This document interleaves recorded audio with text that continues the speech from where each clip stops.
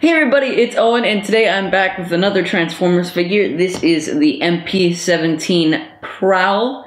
He is from Takara Tomy, which is not a third-party company. Anything that is Hasbro or Takara Tomy is considered your standard Transformers figures. And this one I've had for a while, but I've just kept it on display and I've never done a review on it until now. And actually, somebody was asking me if I was gonna do more Transformers, and uh, yeah, we got Transformers figure. With that out of the way, let's get this guy open. All right. So what we got is okay. This is a So we got two instruction manuals. This one's in English, and this one is in Japanese you get these two blaster cannons that the instructions don't mention at all. But I have one way that you could use it, and I'm thinking of another way, but it's probably not gonna work. But let's play another robot mode. And then we get a collector card that's not as nice and solid as I'd like it to be. It's more of this papery texture. Look at this. Now we get to the main event. Prowl in his vehicle mode.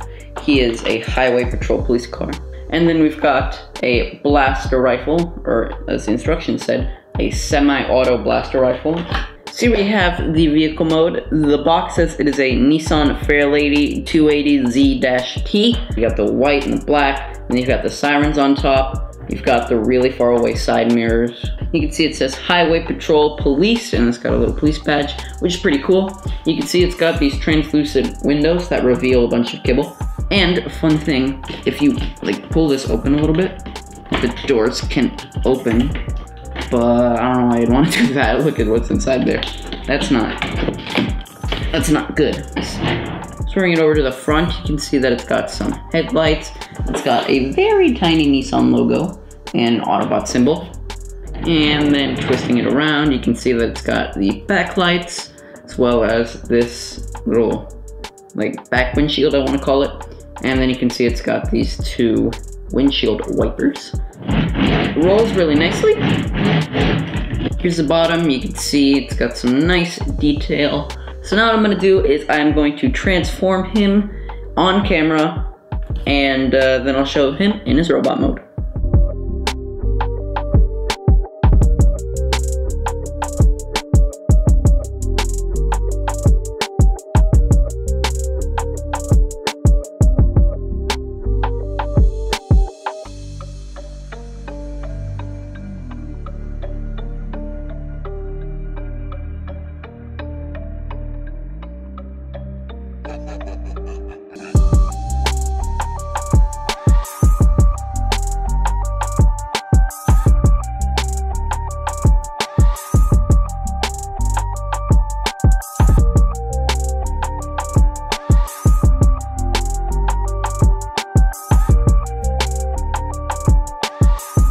And here we have the robot mode. And as you can see, we got a nice head sculpt up top. And you can see he's got his little red horns. He's got the door flap things like Bumblebee in the movies. And then you can see he's got some nice mechanical detailing on his like chest area. This is obviously just the hood of the car mode. See, we got these wheels on the shoulders here.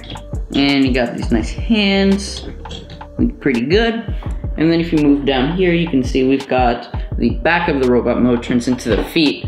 But if you turn him around, he's extremely hollow. Like you can see, there's a bunch of gaps back there. But you're probably not going to be displaying him like this, are you?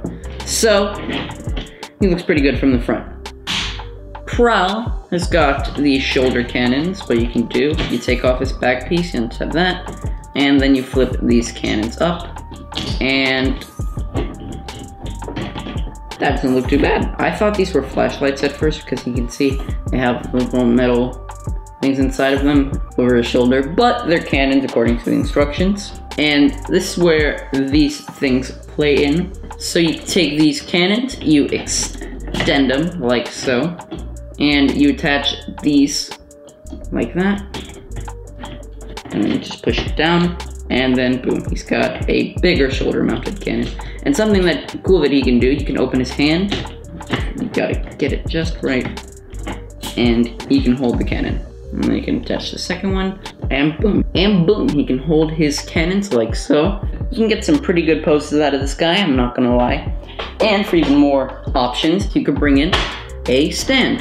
I'm just using a normal Gundam 1 100 scale stand. I would take the largest one of these cradle things and just slide it right there. And as you can see, it doesn't look bad in the air.